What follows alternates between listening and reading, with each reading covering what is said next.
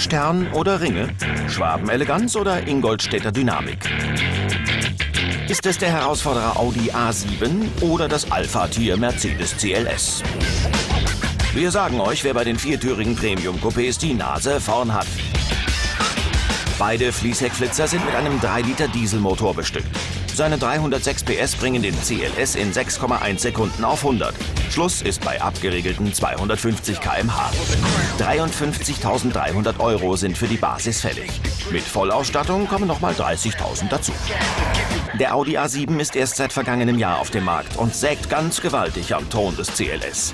Er holt 245 PS und 500 Newtonmeter aus dem V6 Turbodiesel. In 6,3 Sekunden schiebt er die Fuhre auf 100. Schluss ist ebenfalls bei 250. Dafür verlangen die Ingolstädter 48.823 Euro. Auf diese Basis kommt in der voll ausgestatteten Version mit 44.000 Euro fast nochmal das Doppelte dazu.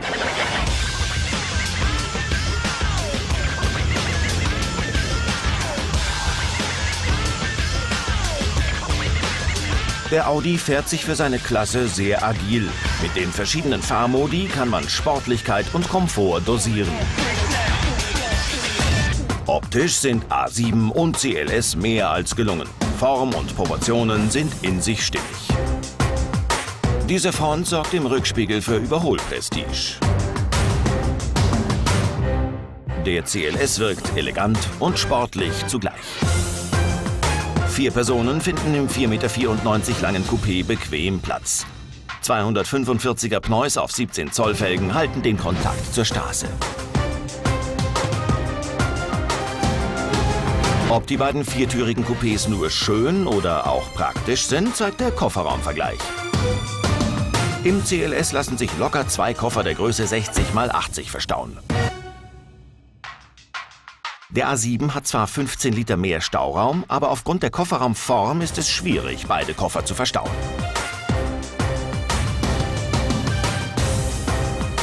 Bei der Sitzprobe schneidet der Audi auch wieder einen Tick schlechter ab. Auf dem Fahrersitz und im Fond ecken Kopf und Knie schnell an. Der CLS ist ganz klar auch kein Raumwunder, doch er bietet den Fondpassagieren etwas mehr Bein- und Kopffreiheit.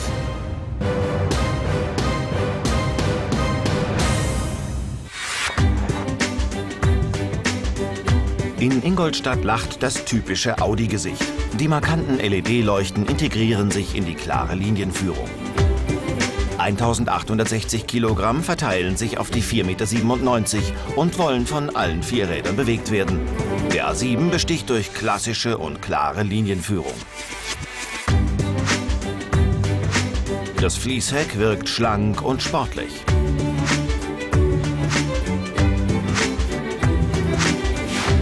Der Standard der gehobenen Mittelklasse zeigt sich im Innenraum. Leder, Holzdekor und Aluminiumleisten sorgen für Wohlfühlambiente. Die Bang Olufsen Soundanlage lässt sich Audi mit 5000 Euro gut bezahlen.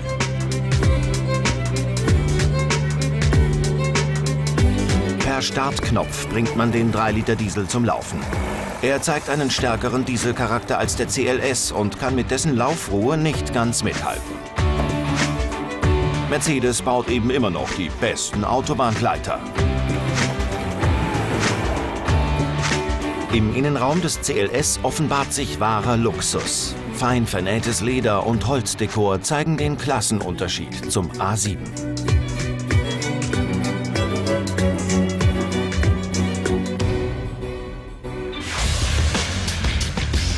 Der Audi A7 ist das sportlichere Fahrzeug, der CLS das komplettere mit dem stärkeren Charakter.